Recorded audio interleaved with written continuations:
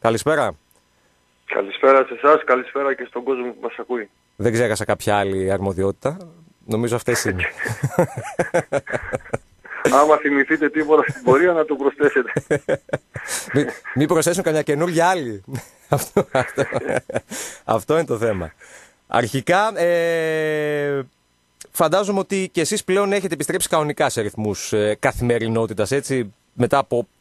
Είναι στην τρίτη εβδομάδα των προπονήσεων, αν δεν κάνω λάθος, αυτή τη στιγμή. Τρίτη εβδομάδα, ναι, τρίτη εβδομάδα. Ήταν οι δύο πρώτες εβδομάδες ε, τις οποίες υπήρχαν κάποιοι περιορισμοί στον τρόπο προπόνησης. Ε, κάναμε με γκρουπ μέχρι 8 ποδοσφαιριστές σε διαφορετικές ώρες και διαφορετικά γήπεδα. Προσπαθούσαμε να μην ε, βρίσκονται και μεταξύ τους τα παιδιά με διαφορά την ώρα. Ε, από την ε, Δευτέρα ξεκινήσαμε να κάνουμε κανονικά προπόνηση όλοι μαζί, ε, όπως κάναμε πριν, πριν τον κορονοϊό. Ε, ευτυχώς με, με, με ασήμαντα προβλήματα, έτσι είχαμε έτσι δύο προβλήματα, τρία προβλήματα έτσι πολύ ε, ε, ήρεμα, έτσι χωρίς πολύ που να μας ε, προβληματίσουν. Ε, ήδη αυτή τη βδομάδα έχουμε ξεκινήσει αρκετά καλή προπόνηση με υψηλή ένταση. Ε, γνωρίζουμε ότι έχουμε μπροστά μας δύο εβδομάδες ακόμα για να ετοιμαστούμε για το πρώτο παιχνίδι ε, και προσπαθούμε όσο το δυνατόν να ετοιμάσουμε τα παιδιά νωρίτερα και σε καλή κατάσταση. Τα ερωτήματα τα οποία γεννούνται coach ε, μετά την επιστροφή της ομάδας στις προπονήσεις και επιστρέφοντας σταδιακά στην κανονικότητα είναι τα εξής. Πρώτον, πώς είναι πλέον οι προπονήσεις, πώς είναι η συμπεριφορά των, ε, των παικτών, η γλώσσα του σώματος, να το πω έτσι, ε, με αυτά τα νέα δεδομένα. Και το δεύτερο, πώς περιμένουμε πλέον τις ομάδες στην επανέναρξη του πρωταθλήματος, γιατί μιλάμε για μια αγωνιστική απραξία τριών μηνών όταν θα ξεκινήσει το, το πρωτάθλημα. Ναι. Ε, απομένουν τώρα, όπως είπαμε, δύο εβδομάδες για το πρώτο το παιχνίδι, για 6-7 ναι. Ιουνίου. Σίγουρα ε, οι ποδοσφαιριστές, όχι μόνο οι δικοί μας, αλλά και από όλες τις ομάδες δεν θα βρίσκονται στην κατάσταση που βρισκόταν πριν. Ε, λόγω του ότι καθίσανε γύρω στις 50 μέρες ε, με τον περιορισμό με τον ιό μέσα στο σπίτι, δεν κάνανε προπόνηση. Κάποιοι κάνανε βέβαια τα, τα ατομικά τα προγράμματα, αλλά νομίζω ότι είναι εντελώς διαφορετικό το να κάνει μια ομάδα μαζί προπόνηση από το να κάνεις ατομικό πρόγραμμα, είτε είναι μέσα στο σπίτι, είτε είναι στο πάρκο της γειτονιάς σου, τέλος πάντων στο χώρο που μπορούσε να βρει ο καθένας για να προπονηθεί. Ναι. Σίγουρα αυτό είναι πολύ μεγάλο πρόβλημα για, για όλους. Έτσι, από εκεί και πέρα αυτό που σκεφτόμαστε πάρα πολύ εμείς και νομίζω ότι και όλοι οι προπονητές είναι να προσπαθήσουμε να, να δούμε το πρόγραμμα της προπόνησης έτσι ώστε να μην έχουμε τραυματισμούς. Αυτό είναι το πιο σημαντικό. Yeah. Γιατί από τη στιγμή που κάτσαν τα παιδιά γύρω στις 50 μέρες, ε, αν αναλογιστεί κανείς ότι το καλοκαίρι, η άδεια που παίρνουν καλοκαίρι είναι γύρω στις 30 μέρες, ξεκινάνε προετοιμασία και μετά από 45 μέρες είναι το πρώτο επίσημο παιχνίδι. Ε, εμείς κάτσαμε 50 μέρες στη διάρκεια του πρωταθλήματος, δηλαδή στα μέσα της σεζόν, ε, για όλους μας είναι άγνωστο και για τους ποδοσφαιριστές και για τους προπονητές, οπότε θα πρέπει να, να είναι τέτοια η προπόνηση ώστε να έρθουν τα παιδιά σταδιακά σε μια καλή κατάσταση για να αποφύγουμε το κυριότερο τους τραυματισμούς και για να μπορέσουμε να τους έχουμε όλους διαθέσιμους. Ναι. Ε, φαντάζομαι 100%, 100 έτοιμοι όπως θα τους θέλατε δεν νομίζω, δεν ξέρω αν θα είναι αλλά μπορούμε να μιλήσουμε ποσοστό ετοιμότητας. Ακριβώς, κοιτάξτε, υπάρχουν κάποιοι ποδοσφαιριστές ε, σε αυτό το κομμάτι τώρα που λέτε, κάποιοι ποδοσφαιριστές που στην περίοδο της καραντίνας mm-hmm. δουλέψανε καλύτερα από κάποιους άλλους. Ναι. Εμείς ε, γι' αυτό το λόγο κάναμε την πρώτη εβδομάδα εργομετρικά τεστ για να δούμε την κατάσταση που βρίσκονται. Στο πρόγραμμά μας είναι την επόμενη εβδομάδα που μας έρχεται να κάνουμε τα επαναληπτικά εργομετρικά για να δούμε ε, την, την καλύτερη αξιολόγηση των ποδοσφαιριστών μας έτσι ώστε κάποια παιδιά μπορεί να χρειαστούν μεγαλύτερο όγκο προπόνησης, κάποια παιδιά μπορεί να χρειαστούν λιγότερο όγκο. Για να μην κάνουμε λάθος και έχουμε τραυματισμούς στη συνέχεια γιατί τα παιχνίδια ε, από ό,τι μάθαμε βέβαια δεν ξέρουμε ακριβώς το πρόγραμμα αλλά θα είναι κάποια παιχνίδια θα είναι Κυριακή, Τετάρτη, Κυριακή δηλαδή θα έχει και διάμεσα σε κάθε εβδομάδα παιχνίδια. Έχουμε στο μυαλό μας τη, τη φρεσκάδα των ποδοσφαιριστών, δεν θέλουμε να τους, να τους πλακώσουμε με την έννοια ότι να τους βάλουμε και να έχουμε μετά προβλήματα. Θέλουμε να αποφύγουμε το μεγάλο φόρτο σε πολλούς ποδοσφαιριστές, να μην έχουμε αποτέλεσματα σαν αποτέλεσμα τραυματισμούς ε, και από εκεί και πέρα είναι κάτι το οποίο με βάση τα, τα δεδομένα που παίρνουμε από την αξιολόγηση από τα εργομετρικά κανονίζουμε και την προπόνησή μας έτσι ώστε να, να μπορέσουμε να βγάλουμε αυτό που θέλουμε αλλά και κυρίως να αποφύγουμε τους τραυματισμούς. Στο πλαίσιο της φρεσκάδας για την οποία κάνατε λόγο, ε, Σίγουρα ο Άρης ε, μέχρι ένα σημείο νομίζω ότι τον βοήθησε όλο αυτό το διάστημα, διότι είχε, ήταν πολύ κουρασμένος πνευματικά, εγώ θα πω, στη φάση που τον αφήσαμε. Επειδή, όπως είναι γνωστό και το έχουμε πει και πολλές φορές, ο coach επικεντρώνεται σε ένα συγκεκριμένο αριθμό παιχτών τους οποίους χρησιμοποιεί. Μήπως για αυτή τη φρεσκάδα υπάρχει σκέψη ενδεχομένως να ανοίξει λίγο το rotation στην διάρκεια των play-off με φόντο και τον επαναληπτικό με την ΑΕΚ; Αυτό που λέτε ε, ισχύει ήταν Ιανουάριος και Φεβρουάριος που ήταν τα συνεχόμενα τα παιχνίδια. Ε, πηγαίναμε συνήθως σε, σε ποδοσφαιριστές στην ίδια εντεκάδα το πολύ να είχε μία αλλαγή, δύο αλλαγές ή λόγω τραυματισμών ή λόγω καρτών ε, μέχρι και τις 4 Μαρτίου που ήταν το, το πρώτο παιχνίδι του Κυπέλου στο ΆΚΑ με την ΑΕΚ. Από εκεί και πέρα μετά έγινε αυτό που έγινε με τον, με τον ιό, σταματήσαμε. Αυτό που λέτε για την πνευματική κούραση σίγουρα έχει φύγει από τα παιδιά. Αλλά από εκεί και πέρα είμαι σίγουρος ότι θα δοθεί χρόνο συμμετοχής και σε άλλους ποδοσφαιριστές. Έτσι, εφόσον όπως είπαμε και πριν οι αγώνες είναι συνεχόμενοι, όταν σε μια εβδομάδα έχεις ε, τρία παιχνίδια, και μπορεί και την άλλη εβδομάδα να παίζεις ξανά την Τετάρτη παράδειγμα, τέταρτο παιχνίδι, σίγουρα θα πρέπει να παίξουν και άλλοι ποδοσφαιριστές, να υπάρχει φρεσκάδα στην ομάδα, να χρησιμοποιηθούν και άλλοι, να δούμε και την κατάσταση των άλλων των παιδιών. Έτσι, μπορεί κάποια από τα άλλα τα παιδιά να είναι σε πολύ καλή κατάσταση και να πάρουν φανέλα βασικού. Έτσι. Αλλά το, το πιο σημαντικό σας λέω είναι να αποφύγουμε το μεγάλο τον φόρτο σε ορισμένα παιδιά που έχουν τραβήξει, ας το πούμε, το κουπί τον Ιανουάριο, του Φεβρουάριο, στα δύσκολα τα παιχνίδια που εκεί εξασφαλίσαμε και το στόχο μας τον πρώτο. Ε, και από εκεί και πέρα πάντα εμείς έχουμε στο μυαλό μας το παιχνίδι του, του επαναληπτικού του κυπέλου. Έτσι, ο μεγάλος ο στόχος μας πλέον είναι αυτός. Γιατί τον πρώτο στόχο που ήταν να βγει η ομάδα στο, στην Ευρώπη, στο Europa League, τον πετύχαμε περίπου τα μέσα Φεβρουαρίου. Ο στόχος όμως το μεγάλο σε αυτή τη στιγμή και το μυαλό μας σίγουρα είναι εκεί πέρα είναι το μάτι του κυπέλου. Εμείς περιμένουμε να δούμε πότε θα είναι οι ημερομηνίες, γιατί ακόμα δεν έχουν ανακοινώσει επίσημα πότε θα είναι ο ημιτελικός κυπέλου. Εμείς όμως ο στόχος μας ο μεγάλος είναι σε εκείνο το παιχνίδι. Θα πρέπει οι ποδοσφαιριστές μας όλοι να είναι παρόντες, να είναι όλοι υγιείς και να είναι και στο 100% της φόρμας τους. Αυτός είναι ο μεγάλος ο στόχος και με βάση αυτό στο μυαλό μας θα πρέπει να δουλέψουμε. Εγώ θα πω ίσως ε, και λίγο παραπάνω από το 100% διότι σε εκείνο το μάτσο Άρης και στα υπόλοιπα βέβαια θα χάσει το μεγάλο του πλεονέκτημα ε, εάν όλα ήταν φυσιολογικά και έπαιζε τον επαναληπτικό με την ΑΕΚ τον Απρίλιο που είναι, που είναι ο κόσμος του έτσι. Εντάξει, αυτό είναι, ένα, είναι ένα κομμάτι το οποίο βέβαια επηρεάζει αυτή τη στιγμή όλες τις ομάδες αλλά ε, ε, εμείς το έχουμε πει και εγώ το έχω πει πολλές φορές ε, ότι η δύναμη που μας δίνει ο κόσμος μας στο γήπεδο μας είναι τεράστια, είναι ανεπανάληπτη. Σίγουρα είναι πολύ μεγάλο μείον για την ε, δικιά μας ε, την ομάδα. Όμως από εκεί και πέρα είμαστε υποχρεωμένοι με βάση τους νέους κανόνες που υπάρχουν από την πολιτεία ε, να, να συνεχίσουμε. Και από εκεί και πέρα εμείς όπως ε, σας είπα θα πρέπει να είμαστε έτοιμοι, πανέτοιμοι για εκείνο το παιχνίδι, όποια ημερομηνία το ορίσουν, γιατί ακόμα δεν μας το έχουν ξεκαθαρισμένο, όποια ημερομηνία να είμαστε στο 100% της κατάστασης μας ποδοσφαιριστές για να διεκδικήσουμε και να πάρουμε την πρόκληση στο τελικό. Φαντάζομαι ότι μετά από διανύοντας βασικά την τρίτη εβδομάδα των προπονήσεων, εντάξει, θα παρατηρείτε και μια βελτίωση στην κατάσταση των παικτών όσον αφορά το αγωνιστικό κομμάτι. Πνευματικά, ε, επειδή σίγουρα μέσα, με, μέσα αυτό το διάστημα των δύο μηνών που ήταν σπίτια τους όλοι, αποσυντονίστηκαν όπως και, και, να το κάνουμε. Ε, δεν ξέρω κατά πόσο αυτό φαίνεται ή έχει μειωθεί. Και επιστρέφω σε αυτό που είχα ρωτήσει νωρίτερα, ποια είναι η συμπεριφορά τους στη διάρκεια των προπονήσεων. Δηλαδή, στο πίσω μέρος του μυαλού τους έχουν αυτό που συζητιέται κάθε μέρα, οι αποστάσεις, το ένα, το άλλο δηλαδή. Πώς είναι οι προπονήσεις πλέον στην. Δεν θα πω μετά κορονοϊό εποχή, γιατί ακόμα σε αυτήν βρισκόμαστε. Είναι λογικό μετά από τόσες μέρες αποχής από την προπόνηση και από το ποδόσφαιρο και όταν όλοι οι ποδοσφαιριστές ήταν κλεισμένοι στα σπίτια τους, εφόσον τώρα ξαναξεκινήσαμε την προπόνηση, είναι λογικό να μην είναι συγκεντρωμένοι 100%.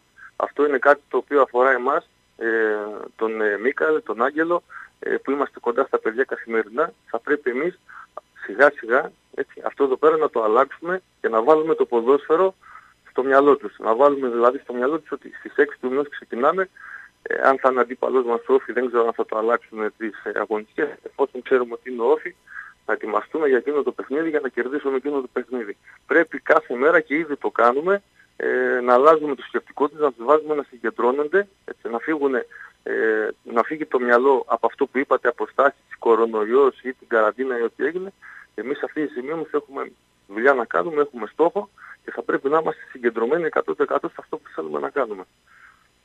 Εντάξει, ναι. Δηλαδή τώρα το να πας για να το χιουμορίσω και λίγο, το να πας σε ένα παίχτη και να τους ζητήσει να πιάσει μαν του μάνα, ας πούμε, το, το Βέλεθ, τον αντίπαλο επιθετικό, μπορεί ο Βέλεθ με το δικό του τρόπο σκέψης να το σκεφτεί, ας πούμε, κάπως. Γι' αυτό το λέω περισσότερο, γιατί σίγουρα το έχουν στο μυαλό τους. Νομίζω ότι την ώρα εκείνη που θα τον πεις στον, ε, στον Βέλετ να πιάσει τον παίκτη θα τον πιάσει. Νομίζω δεν θα τον...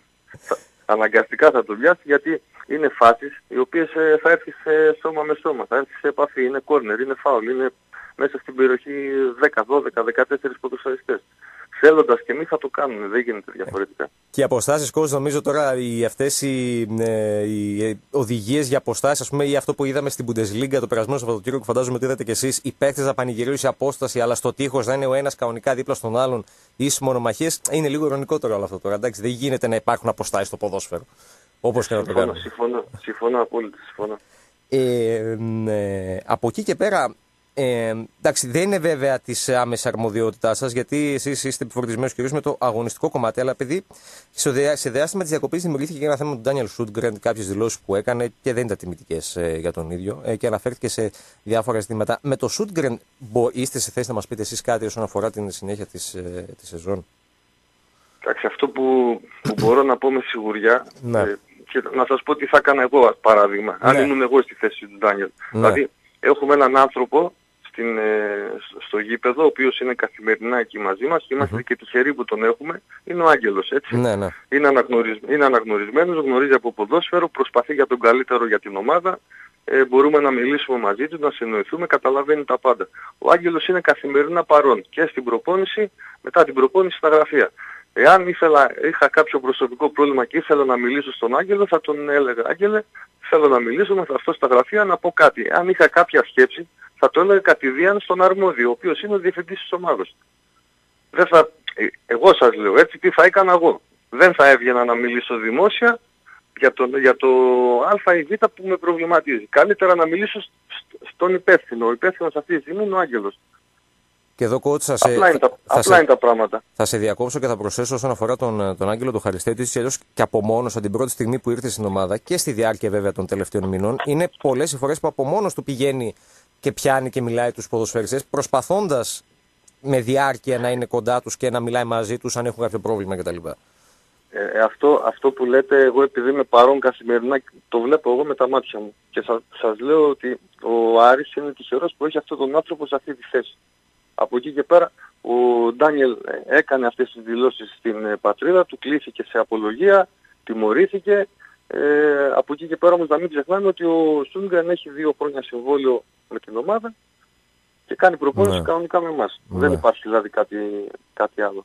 Ναι, εντάξει. Ε, το αντιλαμβάνομαι και νομίζω ότι το θέσατε και σωστά από, το, από την θέση στην οποία βρίσκετε κι εσείς έτσι κι αλλιώς στην, ε, στην ομάδα. Εντάξει, πέρα από το αγωνιστικό για να σας πάω λίγο και στα, και στα άλλα, επειδή ε, όλο το προηγούμενο διάστημα και ειδικά την περίοδο της, ε, της καραντίνας ε, μαζί και με τον Άγγελο του Χαριστέα και με τον Γιώργο του Γιγερίδη, ε, να το πω έτσι λίγο λεκά, ρίξατε πάρα πολύ δουλειά όσον αφορά τον προγραμματισμό της ε, της επόμενης αγωνιστικής περίοδου, με δεδομένο ότι η ομάδα θα μπορεί να κάνει κανονικά μεταγραφές. Κάτι το οποίο ακόμα βέβαια είναι ανοιχτό. Μια δουλειά που φαντάζομαι ότι έχει μείνει στάσιμη σε αυτή τη φάση που βρισκόμαστε. Όχι στάσιμο δεν έχει μείνει τίποτα. Ε, εμείς κάναμε την προηγούμενη εβδομάδα, ο, ο κύριος Χαριστέας, ο coach, εγώ και ο πρόεδρος κάναμε μια συνάντηση. Ο Άγγελος ήταν έτοιμος ε, για δύο πλάνα, δύο Το πρώτο αφορά μεταγραφές συν ανανεώσεις και το δεύτερο το σενάριο αφορά μόνο τις ανανεώσεις. Όσον αφορά για το, το σενάριο που μπορεί η ομάδα να κάνει μεταγραφές, ε, οι λίστες είναι έτοιμες. Ε, σε κάθε θέση υπάρχουν ποδοσφαιριστές, οι οποίες όμως λίστες ε, κάθε μέρα έρχονται καινούργιοι ποδοσφαιριστές, τους οποίους ε, τσεκάρουμε. Εμείς ε, μπορεί να τελειώνουμε συγγνώμη, την προπόνηση, καθημερινά βρισκόμαστε με τον ε, κύριο Χαριστέα και με τον coach στα γραφεία και ελέγχουμε και άλλους ποδοσφαιριστές οι οποίοι έρχονται καθημερινά από διάφορους ατζέντες ή στον πρόεδρό μας ή στον, ε, στον Άγγελο. Ε, οπότε αυτά όλα ανανεώνονται. Βέβαια, ε, περιμένουμε να δούμε τι θα γίνει με αυτό. Αλλά εμείς σε περίπτωση που αλλάξει αυτό το μπαν και είμαστε, η ομάδα είναι διαθέσιμη να κάνει μεταγραφές, θα θέλουμε την επόμενη μέρα να είμαστε πανέτοιμοι. Αυτό θέλει δηλαδή και ο Άγγελος και αυτό προσπαθούμε να κάνουμε και καθημερινά. Απλά δεν ξέρω στη φάση που βρισκόμαστε ακόμα, δηλαδή χρονικά τουλάχιστον Μάη μήνα, κατά πόσο μπορεί να δείτε κάποιες από τις πρώτες επιλογές να χάνονται, να το πω έτσι. Είναι μια πιθανότητα αυτή. Είναι μια πιθανότητα και μπορεί να γίνει αυτό που λέτε. Ναι. Γι' αυτό το λόγο και εμείς θα πρέπει να να είμαστε έτοιμοι και για την δεύτερη επιλογή και για την τρίτη επιλογή ε, που μπορεί, εντάξει, δεν, μπορεί, αυτή τη στιγμή ξέρω ότι γνωρίζω πολύ καλά ότι ο Άγγελος έχει μιλήσει με κάποιους ποδοσφαιριστές ε, πριν βγει αυτό το μπαν. Έτσι έχει μιλήσει, έχει κάνει διάφορες επαφές. Ναι. Ε, μπορεί αυτοί οι ποδοσφαιριστές που έχει μιλήσει ο Άγγελος ε, να μην μας περιμένουν εμάς μέχρι να βγει η τελική απόφαση και να πάνε σε μια άλλη ομάδα. Εμείς όμως οφείλουμε για να είμαστε έτοιμοι για πάνω ενδεχόμενο να έχουμε από πίσω από την πρώτη και δεύτερη και τρίτη επιλογή και τέταρτη επιλογή. Από εκεί και πέρα μακάρι να λυθεί αυτό το θέμα. Ε, νομίζω ότι αυτό είναι το δύσκολο. Το εύκολο είναι αυτό το επόμενο. Δηλαδή αν λύσουμε εμείς αυτό το θέμα μετά είναι πολύ εύκολο μετά να κάτσουμε να, να ετοιμάσουμε την ομάδα έτσι όπως θέλουμε. Εγώ, να σου πω την αλήθεια, κούτς, δεν έχω θέμα ούτε με την τρίτη την τέταρτη επιλογή. Σε κάποιες περιπτώσεις βγαίνουν και σε καλό. Ο Σάσα είναι ένα παράδειγμα, ας πούμε, τέτοιο. Δεν είναι τα πρώτη επιλογή, αλλά μια χαρά βγήκε. Λίγα 100. Ο Σάσα ήταν πέρσι στις τέσσερις πρώτες επιλογές. Ε, για τον ΑΒ λόγο ε, πέρασε ακριβώς πρώτη επιλογή ο Σάσα και βέβαια ο Σάσα για την ομάδα τη δικιά μας αποδείχθηκε λίρα 100. Όντως, έτσι είναι. Ε, στο κομμάτι της, ε, της, ε, του τσεκαρίσματος ποδοσφαιριστών και τα λοιπά, επειδή αυτή η ιστορία πηγαίνει ε, πολλούς μήνες τώρα, ε, αυτό το οποίο έχει γραφτεί κιόλας για τετραψήφιο αριθμό παιχτών, 1000-1500 πώς είναι, είναι κάτι το οποίο ανταποκρίνει στην πραγματικότητα όντως; Ανταποκρίνεται, ναι, είναι αλήθεια, γιατί εμείς σε αυτό το κομμάτι έχουμε ξεκινήσει για την, για την περίοδο του καλοκαιριού, γιατί τον Ιανουάριο ε, δεν είχαμε το δικαίωμα και μετά από Φεβρουάριο ξεκινήσαμε για το καλοκαίρι. Το τονίζω γιατί είναι ε, τεράστιος ο αριθμός, δηλαδή αν κάτσουμε τώρα και το βάλουμε κάτω. Και, ανα, και αναλογιστούμε ότι γίνεται από 2-3 άτομα, έτσι, όχι από 10 ας πούμε. Ε, ο, ο πρώτος που κοιτάει όλους τους ποδοσφαιριστές είναι ο κύριος Κικερίδης ναι. και από εκεί και πέρα είναι ο Άγγελος, εγώ και ο προπονητής. Ναι. Ε, στην περίοδο της καραντίνας επειδή ήταν πολλές οι ώρες που είμαστε στο σπίτι και δεν είχαμε και τι να κάνουμε. Ήμασταν πολλές ώρες ελεύθερες, ναι. έτσι αυτές τις ώρες τις αξιοποιήσαμε. Είδαμε πάρα πολλούς ποδοσφαιριστές και αυτό το, το, το χίλια που είπατε είναι λίγο, είναι πολύ περισσότεροι ποδοσφαιριστές που έχουμε δει και έχουμε τσεκάρει. Έχουμε πάρει τις λίστες από 10 χώρες των ποδοσφαιριστών των οποίων τα συμβόλαια στις 36 τελειώνουν, δηλαδή ποδοσφαιριστές που μένουν ελεύθεροι ε, μπορεί, δηλαδή φανταστείτε τώρα την, ε, μια χώρα, θα πούμε την Ελλάδα, τη δικιά μας τη χώρα, μπορεί να μένουμε 200 ποδοσφαιριστές ελεύθεροι. Ναι. Πήραμε τη λίστα και από εκεί και πέρα κάτσαμε και είδαμε αυτούς τους ποδοσφαιριστές. Κάναμε μετά τις μικρότερες τις λίστες αυτές που μας ε, κάναν το ενδιαφέρον οι ποδοσφαιριστές και από εκεί και πέρα και από εκεί ξεκαθαρίζαμε ακόμα, δηλαδή τους ποδοσφαιριστές μας ενδιαφέραν ακόμα περισσότερο. Και αυτούς τους ποδοσφαιριστές τους έχει δει βέβαια και ο Άγγελος, τους έχει δει και ο προπονητής και ορισμένους από αυτούς τους έχει δει και ο πρόεδρος. Ο οποίος ε, δεν είναι πρώτη φορά άλλωστε που το κάνει. Σε κάθε μεταγραφική περίοδο θέλει να έχει, θέλει να έχει εικόνα και έχει και γνώμη κιόλας πάνω σε αυτά τα ζητήματα σε κάποιε περιπτώσει. Το κάνει, το ξεκίνησε από την ε, περίοδο που ήμασταν ε, όταν πριν έρθει ο Πάκο, όταν ήρθε ο Πάκο μάλλον στην ομάδα, ε, ο οποίος καθόταν μαζί μας ώρες και έβλεπε. Ε, και από εκεί και πέρα ζήτησε μετά να τους βλέπει. Δηλαδή τους, την τελική απόφαση όταν αποφασίζαμε και λέγαμε ότι αυτόν τον ποδοσφαιριστή επιλέξαμε και αυτόν θέλουμε, καθόταν και τον έβλεπε και ο ίδιος, ναι. Μάλιστα. Μάλιστα. Εντάξει. Ε, εντάξει, γενικότερα ο Άρης, εγώ από ό,τι αντιλαμβάνομαι και από αυτά που μας λέτε κι εσείς, ε, το δυστύχημα για τον Άρη είναι ότι ενώ είχε κάνει έναν καλό προγραμματισμό, δηλαδή μια προεργασία, ε, ακόμα και για το χειρότερο σενάριο που είναι χωρίς ε, μεταγραφές, βρίσκεται τώρα σε αυτή την, ε, την κατάσταση. Ε, και θα πρέπει περιμένετε κι εσείς, συνεχίζοντας βέβαια την, ε, τη δουλειά, για να δείτε τι μέλη γενέστε τελικά με αυτό το, το θέμα. Ε, φαντάζομαι ότι κι εσείς θέλετε να υπάρχει γρήγορα κάτι, ε, να ξεκαθαρίσει γρήγορα το, το όλο ζήτημα, διότι με, με άλλα δεδομένα μιλάμε σε μία περίπτωση, με άλλα δεδομένα μιλάμε στην άλλη και εγώ θα εστιάσω κυρίως στο κομμάτι των ανανεώσεων, διότι από τη μία, από ό,τι αντιλαμβάνω, μιλάμε για λίγες κινήσεις ε, ανανεώσεων και από την άλλη μιλάμε σχεδόν για όλους τους παίχτες.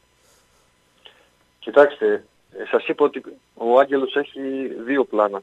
Το ναι. πρώτο είναι μεταγραφές συν ανανεώσεις και το ναι. δεύτερο είναι μόνο ανανεώσεις. Ναι ε, από, τα, από το υπάρχον ε, για τη, για τη δεύτερη περίπτωση ναι. Ε, έχουμε, έχουμε πει και έχουμε αποφασίσει, τα έχουμε μεταφέρει ναι. στον πρόεδρο. Τα έχει πει ο Άγγελος ποιους ναι. ποδοσφαιριστές θέλουμε, ποιοι είναι σε προτεραιότητα Ε, νομίζω ότι πολύ σύντομα ε, περιμένουμε και όταν θα έρθει ο πρόεδρος στην ε, Θεσσαλονίκη για το τελικό, για την τελική απόφαση τέλος πάντων, ε, νομίζω ότι πολύ σύντομα θα ξεκινήσουμε. Γιατί όπως σας είπα είναι κάποιοι ποδοσφαιριστές, αρκετοί κιόλας, από το υπάρχον ρόστερ που και η ομάδα να έχει το δικαίωμα να κάνει μεταγραφές, είναι ποδοσφαιριστές που τους θέλουμε να, να μείνουν στην ομάδα. Δηλαδή θέλουμε έναν κορμό να μείνει. Ναι. Δεν είναι η πρώτη φορά βέβαια που το λέμε αυτό, αυτό είναι γνωστό. Αλλά και να έχουμε τη δυνατότητα σαν ομάδα να κάνουμε μεταγραφές υπάρχουν πολλοί ποδοσφαιριστές που εμείς θέλουμε να τους ανανεώσουμε. Τώρα το, το επόμενο είναι το θέμα που πάει στο οικονομικό. Εκεί βέβαια είναι καθαρά που θα μιλήσει ο Άγγελος με τον Πρόεδρο. Είναι ναι. δικό του θέμα μετά. Όσον ναι. αφορά εμείς σαν προπονητές, ε, η εισήγησή μας είναι για πολλά από αυτά τα παιδιά να παραμείνουν στην ομάδα. Μάλιστα. Εντάξει, ναι, και να πλησιωθούν εφόσον όλα πάνε καλά και με τους παίχτες που θα έρθουν το ερχόμενο, Έτσι, ακριβώς. Το ερχόμενο καλοκαίρι. Εντάξει. Μακάρι να υπάρξει κάτι γρήγορα. Εντάξει, ευτυχώς για εσάς τουλάχιστον το μυαλό σας θα φύγει μέσα σε επόμενες εβδομάδες λίγο από όλη αυτή την, ε, την κατάσταση και θα πέσει περισσότερο πάνω στο, στο αγωνιστικό γιατί το ξεχάσαμε είναι η αλήθεια coach όλο το προηγούμενο διάστημα και μετά από τρεις μήνες θα δούμε πάλι την ομάδα με πολύ διαφορετικές ε, συνθήκες βέβαια. Αλλά θα θυμηθούμε πάλι ότι η σεζόν δεν τελείωσε και υπάρχουν στόχοι. Υπάρχει φυσικά αυτό που είπατε και εσείς, ο μεγάλος στόχος της πρόκρισης στον, ε, στον τελικό και η κατάκτηση του κυπέλου εν συνέχεια. Έτσι ακριβώς, έτσι ακριβώς. Οι στόχοι της ομάδας όταν ξεκινήσαμε από την αρχή, το είχαμε πει, ήταν να καταφέρει η ομάδα να ξαναβγεί στο Europa League και να κοιτάξουμε να πάμε όσο το δυνατόν καλύτερα στο κύπελο. Τον πρώτο στόχο τον πετύχαμε όπως είπα και πριν στα μέσα Φεβρουαρίου. Ε, τον δεύτερο στόχο είμαστε πάρα πολύ κοντά να τον πετύχουμε, να πάμε δηλαδή στο τελικό. Ε, είναι το επαναληπτικό παιχνίδι, περιμένουμε να μάθουμε την ημερομηνία, πότε θα γίνει εκείνο το παιχνίδι. Και όπως σας είπα, το, ο στόχος μας και το σκεπτικός μας είναι οι ποδοσφαιριστές μας σε εκείνο το παιχνίδι να είναι στο απόλυτο της ετοιμότητάς τους. Θα ήθελα πολύ να συζητήσουμε, αλλά δεν βοηθάει και η περίοδος είναι η αλήθεια.